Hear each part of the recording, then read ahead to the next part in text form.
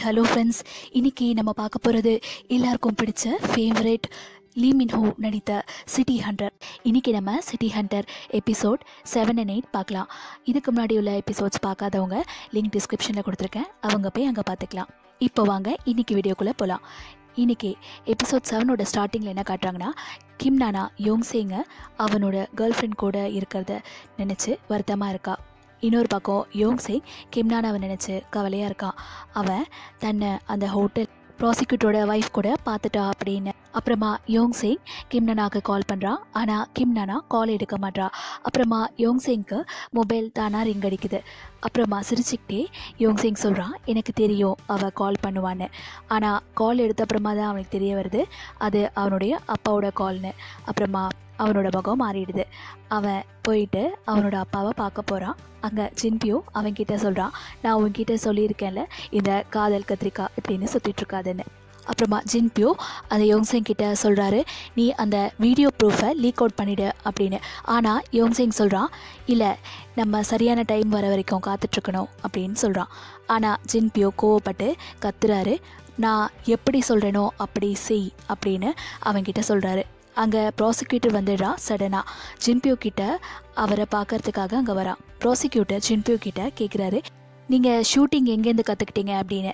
ஆனால் ஜின்பியோ சொல்கிறான் நான் எப்போவுமே என் வாழ்நாள் கன்னை தொட்டது கூட இல்லை அப்படின்னு சொல்கிறான் ஆனால் ப்ராசிக்யூட்டர் ஜின்பியோடைய ஃபிங்கர் பிரிண்ட்ஸை எடுத்துக்கிறான் அதுக்கப்புறம் தன்னோட மனசுக்குள்ளே அந்த ப்ராசிக்யூட்டர் நினைக்கிறான் அந்த சம்பவம் நடந்த அந்த இடத்துலையும் அந்த ஃபிங்கர் பிரிண்ட்ஸை எடுக்கணும் அப்படின்னு. ஜின்பியோ அவனுக்கு போலியான ஃபிங்கர் பிரிண்ட்ஸை கொடுத்துடுறான் அப்புறம் யோங் சிங் கிம்னானாவோட வீட்டுக்கு வரும்போது அங்கே அவன் சொல்கிறான் அவகிட்ட நீ என்னை தப்பாக நினச்சிட்டு இருக்க? நான் ஹோட்டல் ரூமில் அன்றைக்கி ட்ரெஸ் சேஞ்ச் பண்ண தான் போனேன். அப்படின்னு அவன்கிட்ட சொல்கிறான் அப்புறமா கிம்னானா அவன் சொன்னதை நம்பி அவனை புரிஞ்சுக்கிறான். அப்புறம் கிம்னானா அவனை அவனோட அம்மாவோட ரெஸ்டாரண்ட்டுக்கு கூட்டிகிட்டு போகிறா ஆனால் அங்கே அவனோட அம்மாவோட உடம்பு ரொம்பவே சரியில்லாமல் போகுது. யோங்சேங் அவங்கள வீட்டில் விட போகிறான் ஜின்பியோ அங்கே தூரத்தில் இருந்து இது எல்லாத்தையுமே பார்த்துட்ருக்கான் யோங்சேங் தன்னுடைய அம்மாவுடைய உடல்நிலை நினச்சி ரொம்பவே கவலையாக இருக்கான் கிம்னனா அவன்கிட்ட பேசி அவனோட மூடை சேஞ்ச் பண்ணிடுறான். ஜின்பியூ யோங்சேங்குடைய அம்மா கிட்ட போய் அவங்கள பார்க்குறான் அங்கே அவன் அவனோட அம்மா கிட்ட உங்கள் பையன் நல்லபடியாக இருக்கான் அதோட படிக்கிறான் அப்படின்னு சொல்கிறான் யோங்சிங்குடைய அம்மா அவனை பார்க்கணும் அப்படின்னு அழுகுறாங்க. ஜின்பியூ நேராக வரபோது நானே அவனை உங்ககிட்ட கூட்டிகிட்டு வரேன் அப்படின்னு சொல்கிறான் இதுலேருந்து நமக்கு தெரிய வருது அந்த ஜென்பியூ தான் யோங்சேங்குடைய அம்மாவுக்கு இருபது வருஷமாக உதவிட்டு இருந்தான் அப்படின்னு. இதுக்கு நடுவில் பிரசிடெண்ட் யோங்சேங்கை பார்க்கறதுக்காக ப்ளூ ஹவுஸ் வராரு. அங்கே அவர் அவன்கிட்ட தன்னோட மகளுடைய படிப்பு உதவி பண்ண சொல்லி கேட்குறாரு அதோட அவ ரொம்பவே வீக்காக இருக்கா படிப்பில் அப்படின்னு சொல்கிறாரு நீ அவளுக்கு டியூஷன் எடு அப்படின்னு அவகிட்ட பிரசிடெண்ட் ஹெல்ப் கேட்குறாரு அதுக்கப்புறம் பிரசிடெண்ட் உடைய மீட்டிங் டார்கெட் டூ கூட நடக்குது. அங்கே பிரசிடெண்ட் சொல்கிறாரு மிலிட்ரிக்கு சொந்தமான பொருட்களில் ஊழல் நடந்திருக்கு. இதே போல் ஊழல் தொடர்ந்து நடக்குமா? அப்படின்னு கேட்குறாரு டார்கெட் டூ சொல்கிறான் அதுக்கு நல்லா யோசித்து ஆக்ஷன் எடு இல்லைனா விளைவு ரொம்ப மோசமாக இருக்கும் அப்படின்னு சொல்கிறான் அதுக்கப்புறம் தன்னுடைய எலெக்ஷன் ஸ்பீச் கொடுக்க நேரம் ஆயிடுச்சு அப்படின்னு டார்கெட் டூ அங்கேருந்து போயிடுறான். டார்கெட் டூ உடைய பையன் கிம்னானாவை பஸ் ஸ்டாப்பில் தன்னோட காரில் வலுக்கட்டாயமாக கூட்டிகிட்டு போக முயற்சி பண்ணுறான் அதை யோங்சேங்குடைய ஃப்ரெண்ட் கால் பண்ணி அதை யோங்சேங் கிட்ட சொல்கிறான் அதுக்கு யோங்சேங் உடனே அந்த இடத்துக்கு வந்து அவளை காப்பாற்றிடுறான் அதுக்கப்புறம் யோங்சேங் அவளை அங்கேருந்து கூட்டிகிட்டு போகிறான் அதுக்கப்புறம் யோங்சேங் தன்னுடைய ஃப்ரெண்ட் கூட வேஷத்தை மாற்றி மாறு வேஷத்தில் போயிட்டு டார்கெட் டூ உடைய இரண்டு மகன் எப்படி அந்த மிலிட்ரி ட்ரைனிங்கை ஸ்கிப் பண்ணிவிட்டு அவங்க ஃபால்ஸ் மெடிக்கல் ரிப்போர்ட்ஸ் எல்லாம் காட்டி அதை ஃபோர்ஜரி பண்ணாங்க ஏமாத்துறாங்க அப்படின்றத கண்டுபிடிக்கிறான் இங்கே இன்னொரு பக்கம் கிம் நனா பிரசிடென்டுடைய பொண்ணு கூட ஒரு பார்க்கு வரா. அங்கே டார்கெட் டூடைய பையன் திரும்பவும் கிம் நனா கிட்ட வம்பு பண்ணுறான் ஆனால் யோங் சிங் அங்கே வந்து அவனை தடுக்கிறான். யோங் சேங் அந்த டார்கெட்டோடைய பையன்கிட்ட சொல்கிறான் நீ வெளியே வா நான் உன்னை கவனிச்சுக்கிறேன் அப்படின்னு சொல்லி ரெண்டு பேரும் வெளியே போகிறாங்க அங்கே டார்கெட் டூவுடைய ஆள் அவனுக்கு டவுட் வருது. அந்த யோங் சேங் தான் சிட்டி ஹண்ட்ராக இருப்பான் அப்படின்னு. அதனால் அவன் மறைஞ்சிருந்து அவங்க ரெண்டு பேரையும் பார்க்குறான். சிட்டி ஹண்ட்ராக இருந்தால் அவன் தன்னுடைய ஃபைட்டிங் ஸ்கில்ஸை காட்டுவான் அப்படின்னு அந்த ஆள் நினைக்கிறான்.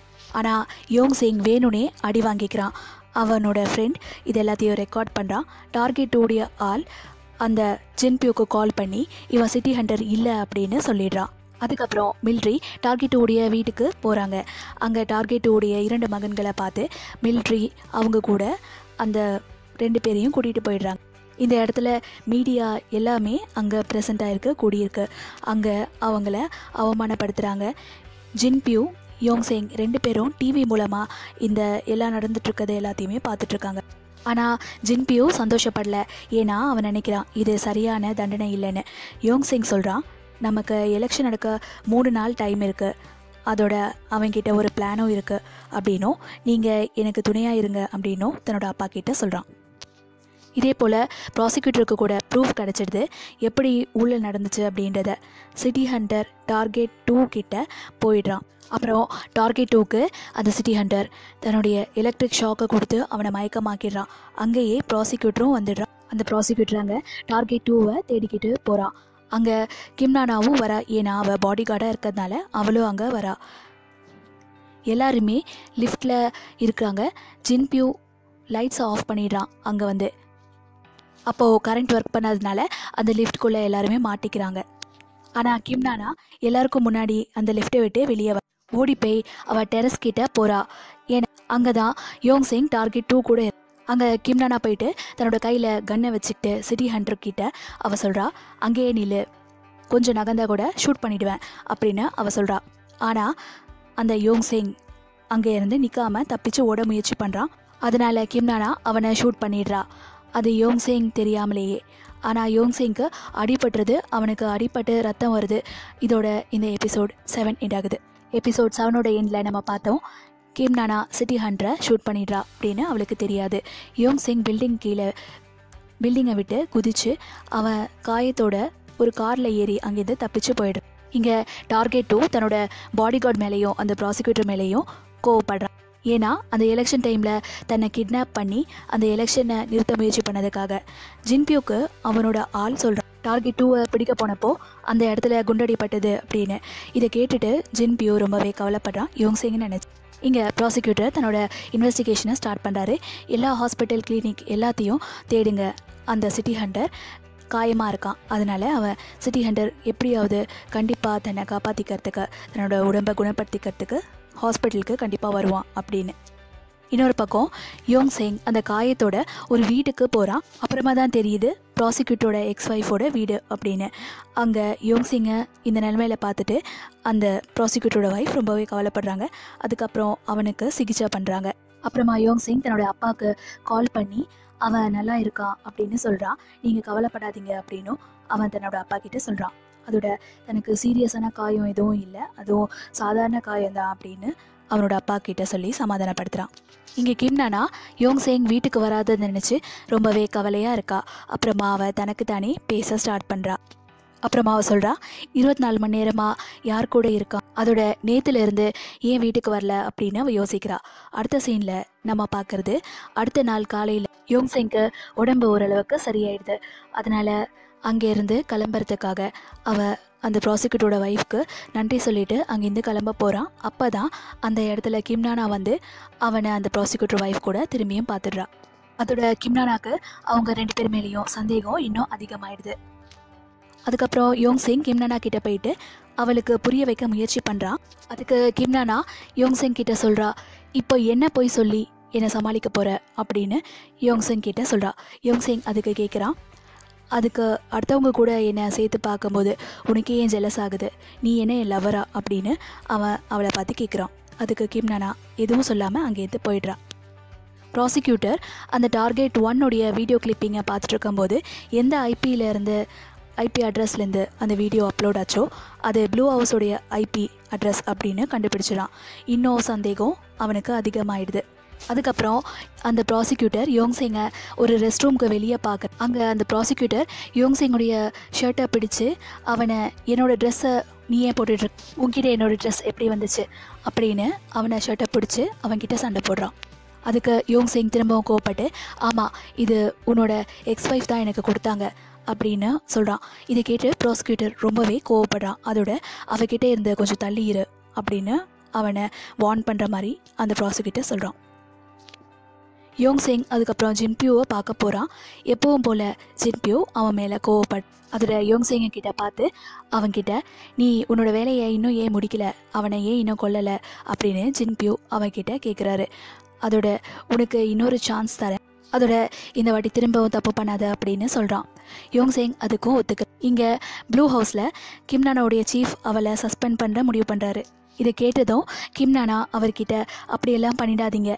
நெக்ஸ்ட் டைம் எந்த தப்பும் நடக்காத மாதிரி பார்த்துக்கிறேன் அப்படின்னு சொல்கிறா ஆனால் அந்த சீஃப் சொல்கிறாரு நீ உடனே ரிசைன் பண்ணுற வேலையை பாரு அப்படின்னு சொல்லிடுறாரு. இதை கேட்டு கிம்னானா ரொம்பவே கவலைப்படுறா. ஃப்ளாஷ்பேக்கில் நமக்கு தெரிய வர்றது என்னென்னா அந்த கிம்னானாவுடைய அப்பா அம்மாவுடைய ஆக்சிடென்ட் நடந்த அந்த கேஸுடைய முக்கியமான ஐ விட்னஸாக அந்த யோங்சேங்குடைய ஃப்ரெண்டு இருந்தார். ஆனால் கரெக்டாக தீர்ப்பு கொடுக்குற நேரத்தில் அந்த சாட்சியை மாற்றிடுறாங்க அதனால் உண்மையான குற்றவாளி தப்பிச்சிடுறான். அதுக்கப்புறம் யோங் சேங் கிம்னானாவை பார்த்து தன்னை தவறாக புரிஞ்சுக்கிட்ட அந்த சந்தேகத்தெல்லாம் தீர்த்து அவளை சமாதானப்படுத்திடுறான். நெக்ஸ்ட் சீனில் யோங் சேங் டார்கெட் டூவை பிடிக்க போகிறான் டார்கெட் டூ பிரசிடெண்ட்டோடைய டிபேட்டில் பேசிகிட்டு இருக்கான். அப்போது எல்லாரும் முன்னாடியும் அவனுடைய அந்த டார்கெட் டூடைய கிளிப்பிங் காட்டப்படுது ஸ்க்ரீனில் இதை கொஞ்சம் கூட எதிர்பார்க்காத டார்கெட் டூ தன்னுடைய உண்மையான நிலைமை எல்லாருக்கும் தெரிஞ்சு போயிடுது. அப்படின்னு தான் மாட்டிக்குவேன் அப்படின்னும் அவன் அந்த இடத்த விட்டு தப்பி ஓட முயற்சி பண்ணுறான் அப்போ யோங் சிங் அவனை பின்னாடியே துரத்துக்கிட்டே போகிறான் அந்த இடத்துல ப்ராசிக்யூட்டரும் வந்து அவன்கிட்ட சண்டை போடுறான். யோங் சிங் எப்படியோ அவன்கிட்டேருந்து தப்பிச்சு போகிறான் அதோட டார்கெட் டூவை தேடி போகிறான் target two prosecutor Yong Sing எல்லாருமே அந்த இடத்துல இருக்காங்க. ஆனால் சடனாக டார்கெட் டூ கிம்னானாவை பிடிச்சி வச்சுக்கிட்டு அவளை ஷூட் பண்ணிவிடுவேன் அப்படின்னு மிரட்டி அங்கேருந்து தப்பிக்க முயற்சி பண்ணுறான் அப்புறமா டார்கெட் டூ கிம்னானாவை அந்த பில்டிங் மேலேருந்து கீழே தள்ளிடுறான். அப்புறம் யோங் சிங் கிம்னானாவை காப்பாற்ற ஓட் அப்புறம் ப்ராசிக்யூட்டர் டார்கெட் டூ பின்னாடி போகிறான் இங்கே யோங் சிங் கிம்னானாவை தன்னோட கையை கொடுத்து காப்பாற்ற முயற்சி பண்ணுறான் ஆனால் யோங் சிங் ஏற்கனவே காயமாக இருந்தான். அதோட அவனோட காயப்பட்டதுனால அவன் உடம்புல இருந்து பிளட் வர ஸ்டார்ட் ஆயிடுச்சு. அந்த பில்டிங் கீழே இருந்து ஜின்பியோ இது எல்லாத்தையுமே பார்த்துட்ருக்கான் அதோட அவன் அதை பார்க்குறான். யோங் சிங் தன்னுடைய மிஷனை விட்டு வழி மாறி தேவையில்லாமல் வேறு ஏதோ பண்ணிக்கிட்டு அந்த பொண்ணை காப்பாற்ற முயற்சியில் இருக்கான் அப்படின்றத பார்த்துட்ருக்கான் யோங் சிங் அந்த பில்டிங் கீழே இருந்து கிம்னா நவா காப்பாற்றிடுவான் இதை தெரிஞ்சுக்க நெக்ஸ்ட் எபிசோடை பார்க்க மறக்காதீங்க. ஃப்ரெண்ட்ஸ் உங்களுக்கு இந்த வீடியோ பிடிச்சா லைக் பண்ணுங்கள் ஷேர் பண்ணுங்கள் அதோட மறக்காமல் நம்ம சேனலை சப்ஸ்கிரைப் பண்ணுங்கள் அது வரைக்கும் stay tuned to Kefi world Rama explain நான் உங்கள் அமலா. Thank you friends